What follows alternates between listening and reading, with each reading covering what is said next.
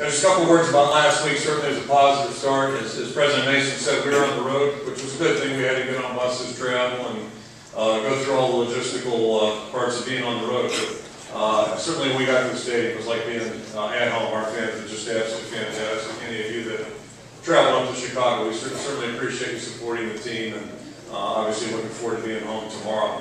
Uh, It was a tough football game. We anticipated that going in. Northern's uh, got an excellent football team. and uh, we, we knew it would be a tough, uh, tough contest, certainly proved to be that. And I thought really the best thing about the entire game uh, was the way we won the game at the end. Uh, it was all, all three phases, offense, defense, and special teams being involved.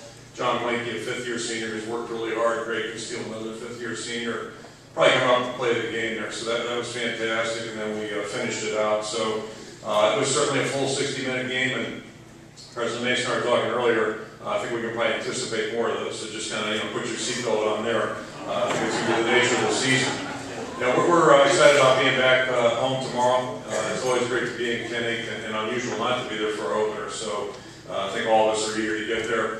Uh, our captains are the same this week. We've got James Vandenberg, James Ferentz on, on the offensive side, Micah Hyde, and James Morris on the defensive side. So, uh, four guys that have done a great job in the program over the years. Our honorary captain, uh, you know, he gave out a Marshal Yanda jersey this morning. Marshal's one of the toughest competitors we've ever had play uh, in the program, and we're bringing another one back tomorrow. Matt Roth will be our honorary captain, and uh, interestingly enough, Matt, Matt's one of the few guys that uh, has left. It seems like every year we'll have one guy that uh, goes to the pros, doesn't finish his degree. Matt was one of those players. Uh, Dallas Clark came back several years ago and finished his degree work, and that's what Matt's doing right now. He's in town, uh, living in Iowa City, uh, he and his wife and young boy, and uh, he's going to finish his degree here over the next two semesters. So it's great to have him back in Iowa City, and certainly we're looking forward to having him uh, today. So uh, excited about that. And then President Mason mentioned the throwback uh, uniforms, which uh, you know we are throwing way back. Uh, but really, the story behind that is uh, just a phenomenal success those two teams had, the 21-22 teams, uh, both going 7-0 and being undisputed Big Ten champions. So it's really a, a privilege for us to honor those teams, and I think the players are excited about that. Uh, Iowa State's coming off a very impressive win against a very good Tulsa football team, and uh, you know they look to be the strongest team that we've played since Coach Rhoads has gotten up there. Uh, they look very uh, uh, polished on offense, and uh, the quarterback's a lot more confident.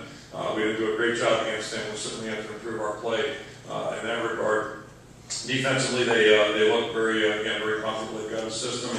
Players play very well, and they play very well on special teams. So and we've got a big challenge on our hands. Certainly, uh, it's one that we're looking forward to. And uh, the one thing I know, we get to Kinnick tomorrow at 2:30 or come out on the field, the fans will be more than ready. We have to do our job, and that's uh, that's what we've been working on all week. But the guys have worked hard. Our team's worked hard, going back to uh, January, quite frankly, and uh, they worked hard this past week. So we're, we're eager to take the field, uh, you know, see how we match up against a very good Iowa State team.